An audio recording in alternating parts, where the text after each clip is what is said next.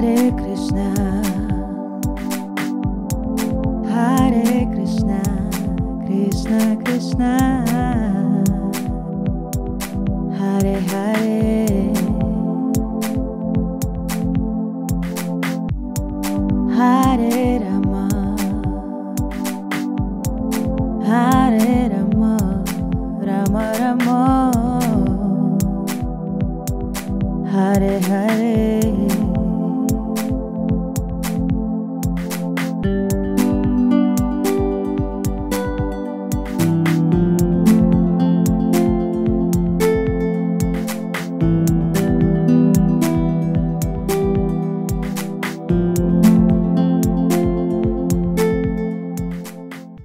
Hare Krishna, dear devotees. After spending considerable time in uh, Vrindavan, India this year, approximately I was there five months in and out, we're back on the road again.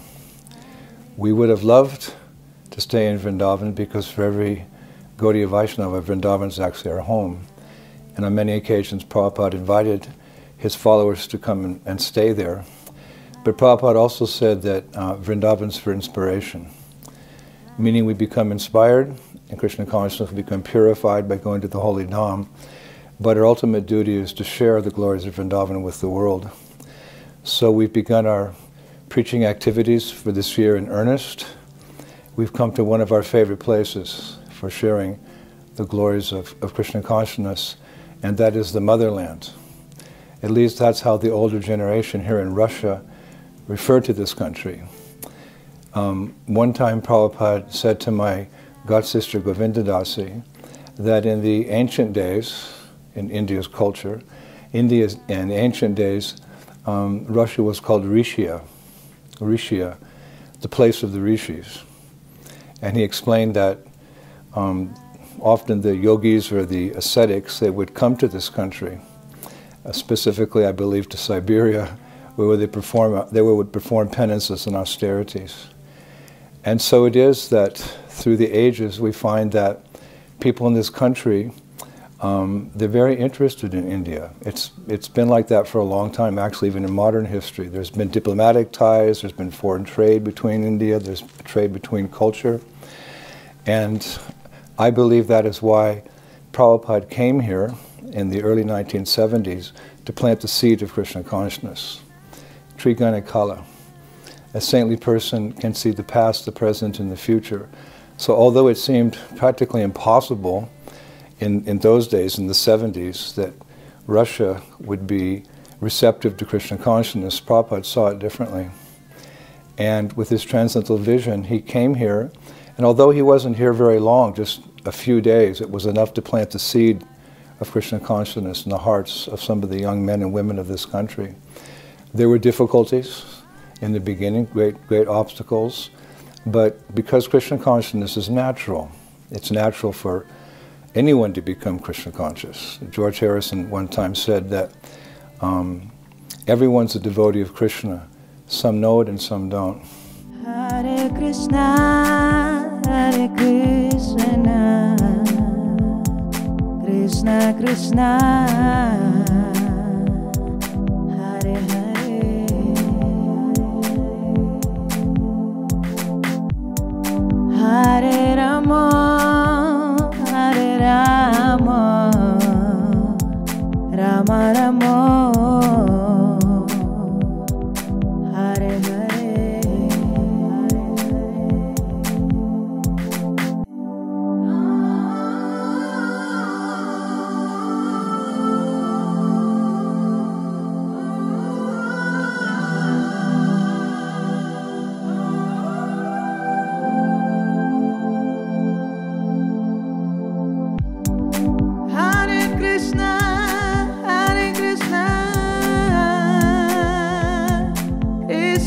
it's not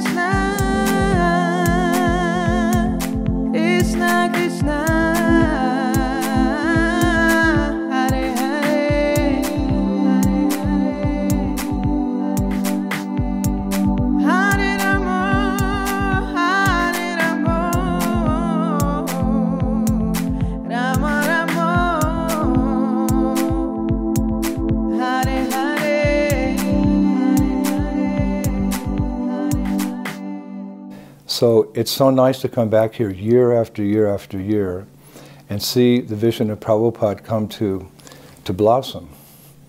Um, this is actually my 30th anniversary.